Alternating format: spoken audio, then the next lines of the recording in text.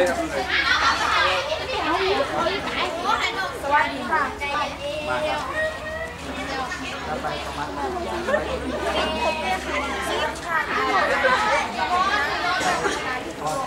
ดิฉันเป็นตัวแทน